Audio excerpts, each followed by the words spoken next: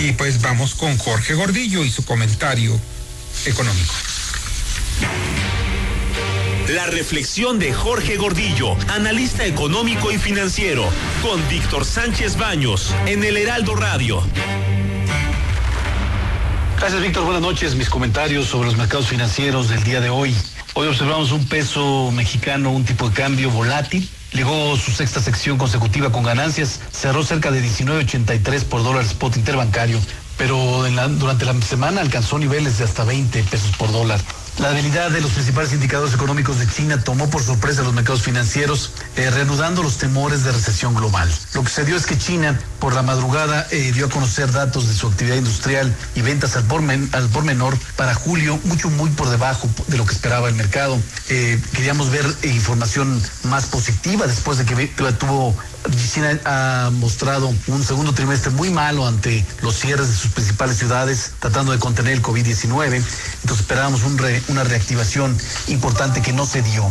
Eh, esto provocó que el Banco Central chino recortara dos de sus tasas de interés de referencia en 10 puntos base. La política monetaria acomodaticia de China tiene el objetivo de, reactivar la demanda interna del país asiático después del impacto de, de mantener la política cero de COVID-19. Asimismo, pretende disminuir los efectos de la crisis del sector inmobiliario que representa un tercio de la economía asiática. La reacción negativa de los operadores ante las cifras económicas de China se trasladó al mercado de materias primas, donde vimos eh, una caída importante en la referencia internacional del precio del petróleo, cayó casi 3% y cerró en 89.4 dólares por barril.